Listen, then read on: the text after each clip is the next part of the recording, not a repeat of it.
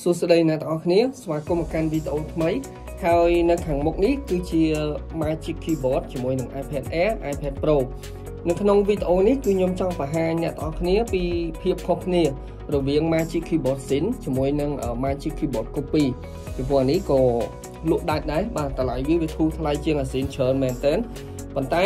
ខ្ញុំបានប្រើវាទាំងពីរហើយខ្ញុំចង់ចែករំលែកពីព្រោះអ្នកខ្លះគាត់អាចនឹងរៀបដែរថាគួរតែទិញអាស៊ីន ព្រោះអាស៊ីនវាថ្លៃពេកបាទគាត់រៀង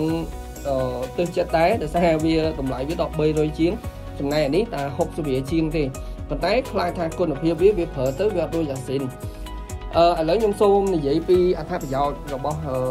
Magic Keyboard Copy ទៅលើការប្រើប្រាស់ខ្ញុំប្រើវារាប់ខែបាទអត់ដែលមានបញ្ហាទេនៅពេលដែលយើងប្រើគឺយើងត្រូវការ connect វាជាមួយនឹង Bluetooth ពីព្រោះនៅខាងក្រោយនេះវាមាន dock connector ទេ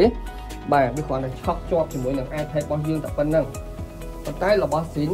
គឺគេមាន dock connector នេះបាទ connect ជាមួយនឹង iPad អញ្ចឹងយើងគ្រាន់តែដាក់ទៅគឺ connect ប្រើបានអូតូអត់មានត្រូវការចូល Bluetooth connect អីញ៉ៃញ៉ៃគឺអត់ទេបាទអញ្ចឹងអានេះនៅពេលដែលយើងភ្ជាប់ដំបូងយើងត្រូវចុចបើក Bluetooth វាដើម្បី connect ជាមួយនឹង iPad នៅពេលដែលយើង connect ហើយគឺប្រើបានធម្មតា ទៅលើ keyboard ក៏វាស្រួលដែរវាស្រួលវាយអក្សរមែនតើដូចអ្នកទាំងគ្នាដឹងអញ្ចឹងខ្ញុំត្រូវថតវីដេអូច្រើនអីច្រើនបាទគឺខ្ញុំប្រើវាសម្រាប់សរសេរ script ហើយខ្ញុំតេស្តវាប្រើរាប់ខែអត់មានបញ្ហាទេវាស្រួលប្រើដូចគ្នាទៅលើ trackpad បាទការអូសបញ្ជាទៅមកក៏វារលូនល្អដែរវាគ្រាន់តែថាអានេះកម្រាស់វាវារៀងក្រាស់អ្នកនរគ្នាឃើញបាទខ្ញុំដាក់ចិត្តអាស៊ីន អាស៊ីនគឺស្ដើងអានេះគឺក្រាស់ដោយសារវាមានថ្មនៅក្នុងហ្នឹងអញ្ចឹងនៅពេលដែលយើងប្រើអស់ថ្មគឺយើងត្រូវសាកវាតាមរុនសាកនេះបាទមិនមែនសាកនេះទេបើសិនជា iPad យើងអស់ថ្មយើងសាក iPad អានេះអស់ថ្មយើងសាក keyboard អញ្ចឹងថ្មវាគឺប្រើបានយូរបាទសាកម្ដងប្រើបានប្រហែលជាមួយខែជាងទៅ2ខែទៅសាកថ្មម្ដងវាប្រើបានយូរមែនទែនហើយមួយទៀតគឺវាមានភ្លើង RGB បាទ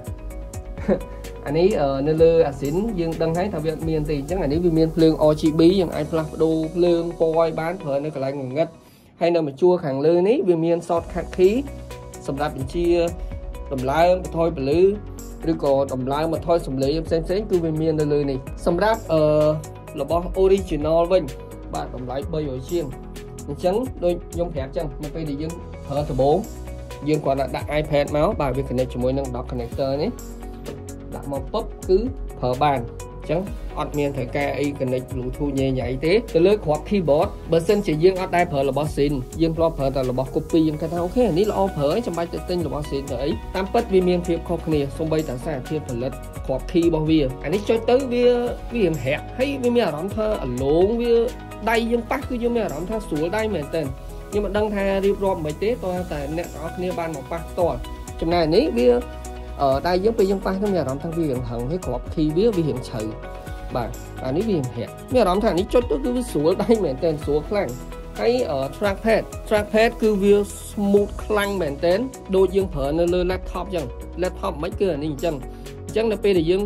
ប្រើបាទដៃខ្ញុំកវាសទៅកវាសមកវាស៊ីគ្នាមែនតើចំណែកនេះវាអត់អីទេវាល្អដូចគ្នាតែបើសិនជាយើងយើងយកដៃពីរហ្នឹងយើងយើងប៉ះក្នុងពេលតែមួយបញ្ជាក្នុងពេលតែមួយ យើងនឹងដឹងថានេះគឺវា smooth ជាងបើវា smooth មកឧទាហរណ៍ថាអានេះកម្រិត smooth វា100%អានេះវាបាន90%មានចំណុចមួយដែលខ្ញុំរៀងទឹះចិត្តជាមួយនឹង keyboard copy នេះគឺត្រង់ថានៅពេលដែលយើងទុកវាចោលឧទាហរណ៍ខ្ញុំប្រើប្រើហើយខ្ញុំមើលរឿងអញ្ចឹងនៅពេលដែលយើងអត់ចុចវាសោះរយៈពេលប្រហែលជា5នាទីឬក៏10នាទីគឺវានឹងចូល sleep mode អញ្ចឹង sleep mode យើងអត់អាចចុចអីបានទេគ្រាន់តែយើងដាស់វាយើងចុចគ្រាប់ key ណាមួយដាស់វាមួយមកបានយើងអាចប្រើតប៉ុន្តែបើសម្រាប់ keyboard sin អត់មានទេចង់ទុកវាចោលមិនក៏ដោយវាអត់មានត្រូវការបិទបើកអីទេអានេះតែយើងចុចទៅគឺប្រើបានចុចទៅគឺប្រើបានអានេះអត់ទេតែយើងទុកវាចោលរៀងបាទដូចជាប្រហែលជា5នាទី10នាទីគឺវា sleep វាធ្វើអញ្ចឹងដើម្បីសន្សំធម្មពលថ្មព្រោះពេលខ្លះយើងភ្លេចបិទបាទវាមានកន្លែងបិទបើកកន្លែងនេះពេលខ្លះយើងភ្លេចបិទអញ្ចឹង វានឹង switch ចូល auto sleep mode ដោយខ្លួនឯងអញ្ចឹងពេលខ្លះឧទាហរណ៍ថាខ្ញុំត្រូវការមើលរឿងបាទខ្ញុំមើលខ្ញុំទុកវាចោលចាំខ្ញុំចង់ push អីចឹងវាអត់ទៅទេតោះខ្ញុំចុចមួយហើយចាំភ្លើងវា load សិនបានចុចមួយទៀតវាទៅអូខេអាហ្នឹងវាជាចំណុចទិសចិត្តមួយអាហ្នឹងយើងគិតថាវាវាបន្តិចទេប៉ុន្តែពេលប្រើផ្ទាល់បានដឹងថាចំណុចបន្តិចហ្នឹងពេលខ្លះគឺយើងរៀងមើលចិត្តមែនតើហើយមួយទៀត Magic Keyboard គឺអត់ត្រូវការសាកថ្មទេ ដោយសារថ្មវាគឺវាប្រើជាមួយនឹង iPad អញ្ចឹងនៅពេលដែលយើងចង់សាកថ្ម iPad យើងអាចសាកតាមរុននៅលើ Magic Keyboard នេះរុន Type C នេះសាកទៅគឺវាសាកជាមួយនឹង iPad របស់យើងអញ្ចឹងយើងនៅសល់ប្រឡោះនេះមួយទៀតសម្រាប់ធ្វើការឧទាហរណ៍យើងត្រូវការដោតដូចតឲ្យផ្សេងផ្សេងឬក៏ដោតចូល monitor អីយើងចំណេញសល់រុននឹងមួយទៀតចំណែករបស់ copy អត់ទេបើសិនជា iPad យើងអស់ថ្មយើងត្រូវសាកលើ iPad ទេអត់អាចសាកតាម keyboard ទេ keyboard វាវាប្រើថ្មផ្សេងអញ្ចឹងអាហ្នឹងយើងចំណេញប្រឡោះមួយតែអឺ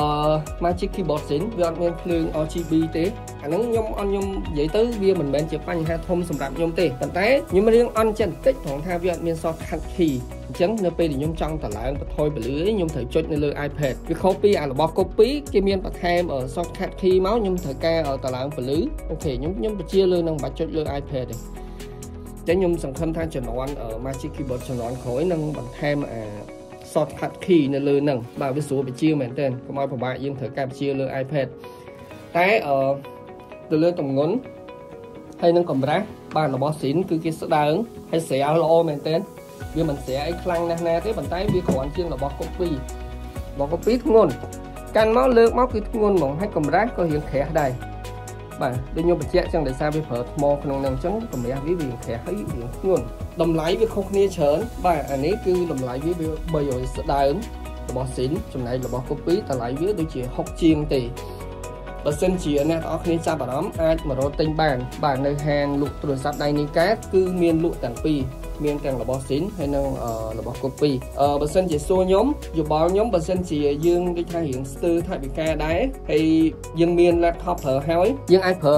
កូពីនេះទៅវាចំណេញលុយបាទ60រៀលជាងវាគាត់បើដែរតម្លៃហ្នឹងប្រើទៅអត់មានបញ្ហាទេខ្ញុំបញ្ជាក់ចឹងថ្មវាបានយូរណាស់នេះថ្មវាប្រើសាកម្ដង មួយខែជាងទៅ2ខែខ្ញុំប្រើខ្ញុំវាយរាល់ថ្ងៃខ្ញុំប្រើវារាល់ថ្ងៃសម្រាប់ឆាតសម្រាប់សរសេរ script អីផ្សេងផ្សេងគឺខ្ញុំប្រើលើហ្នឹងពីព្រោះ iPad តែអត់មាន keyboard ខ្ញុំអត់ចេះប្រើទេខ្ញុំនិយាយធំវាមានអារម្មណ៍ថាពេលដែលយើងត្រូវការសរសេរអីមួយវាពិបាកព្រោះវាមិនមែនដូចទូរស័ព្ទទេទូរស័ព្ទយើងប្រើដៃចុចអូខេវាស្រួលតែ iPad វាធំអញ្ចឹងយើងកាន់យើងត្រូវការវាយអក្សរអីវាយឺតអញ្ចឹងតើតែមាន keyboard តែមាន keyboard ហើយគឺអ្នកទាំងអស់គ្នាគឺនឹងស៊ាំជាមួយវា ពេលដែលអត់ keyboard គឺនឹងដឹងថា iPad តែអត់ keyboard គឺរៀងពិបាកប្រើមែនខ្ញុំនិយាយធំហើយសម្រាប់របស់ Sin យ៉ាតម្លៃវា300ជាងមែនប៉ុន្តែរបស់គេគឺគេផលិតមកសារធាតុនៅលើហ្នឹងគឺវាល្អមួយដឹងមួយដូចខ្ញុំបញ្ជាក់អញ្ចឹង keyboard វាគឺវារៀង smooth បាទវារៀងអលងហើយក្រប key វាវាចុចទៅវាមានអារម្មណ៍ថាយើងអត់ត្រូវការប្រើកម្លាំងសកត់ខ្លាំងហើយ trackpad អីហ្នឹងគឺវាស៊ីគ្នាល្អមែនទែនដោយសារនេះគេធ្វើមកតម្រូវសម្រាប់ iPad ឯងអញ្ចឹងការប្រើប្រាស់គឺវា smooth ជាង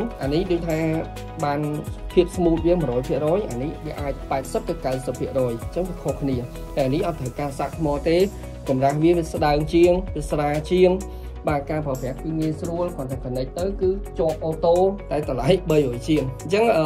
ស៊ីសងលើអ្នកទាំងអស់គ្នាទេបាទថាបើយោបល់ខ្ញុំយ៉ាស្ទើរលុយយើងអាចប្រើរបស់ copy ក៏បានដែរអត់បញ្ហាទេបាទតែបើសិនជាយើងលុយដល់ដែរអូខេប្រើរបស់ស៊ីនទៅ